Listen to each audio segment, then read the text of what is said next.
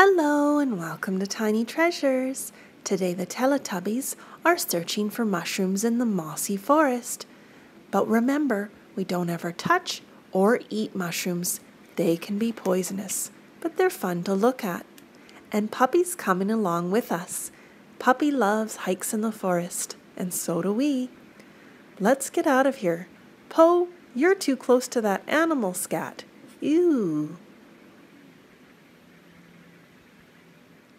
Po has found some very vibrant colored mushrooms.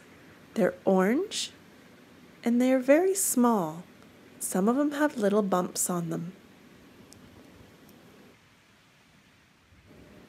These mushrooms are orange and they are giant. They look like blooming flowers. They're very unusual looking.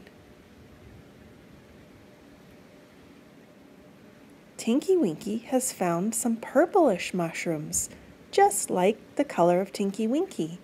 And right above him are some mushrooms that look like flowers as well, and they all have tiny holes in them.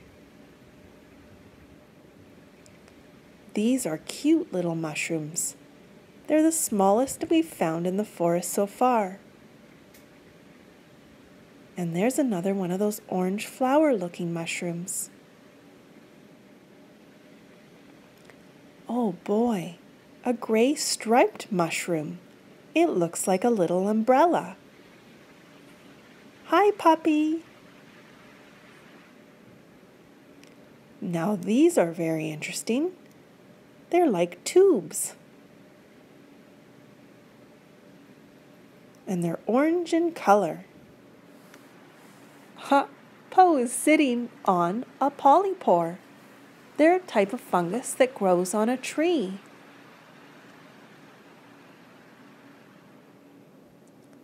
Now we found some more tiny white mushrooms.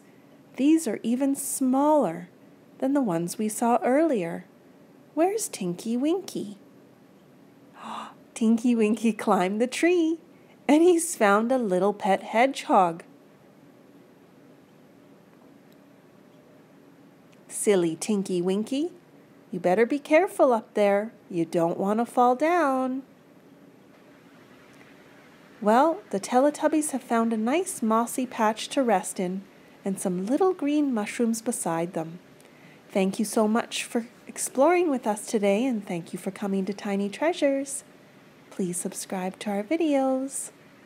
Goodbye.